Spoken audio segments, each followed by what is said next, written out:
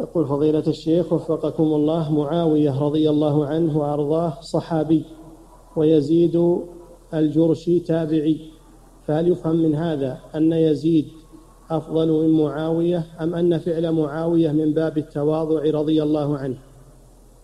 يزيد من من الصالحين يزيد من الصالحين الأتقياء فطلبوا منه أن يدعو نعم وهم يؤمنون. والذي يؤمن كالذي يدعو. نعم.